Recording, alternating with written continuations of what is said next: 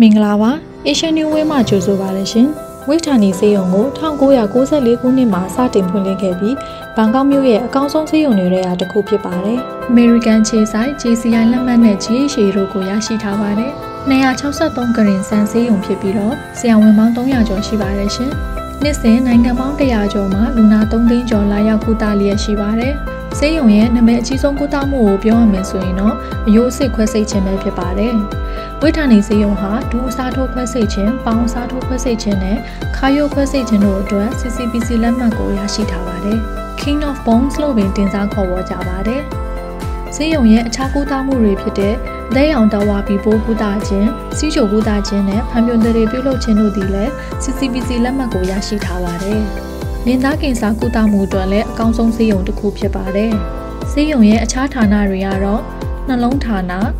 ဦးနှအာယုံကျော်ဌာနအစာရင်ဦးလန်းကျောင်းဌာနနားနှာခေါင်းလယ်ကျောင်းဌာနကလေးထုခုဌာနချက်ကပ်ဌာနလေ့ကျင့်ခန်းနှင့်ပြန်လည်တန်ဆွမ်းရေးဌာနခွဲစိတ်ဌာနနဲ့အခြားဌာနပေါင်းများစွာရှိပါတယ်ရှင်။ အရေးပေါ်လူနာများအတွက်လည်းလေရင်စင်းလုံးငါးများကိုစီစဉ်ပေးလျက်ရှိပါတယ်ရှင်။ကားအချို့ဖို့မြန်မာစကားပြန်နဲ့စားတောက်ဆိုင်များလည်းရှိတဲ့အတွက်အားလုံးကိုအဆင်ပြေချုံးမွေစေပါပါ။အသေးစိတ်သိချင်ရင်တော့ကျွန်တော်တို့ Asian New Way ရဲ့ဖုန်းနံပါတ်ကိုဆက်သွယ်မေးမြန်းနိုင်ပါတယ်ရှင်။ Viber သို့မဟုတ် Messenger ကနေလည်းဆက်သွယ်မေးမြန်းနိုင်ပါတယ်ရှင်။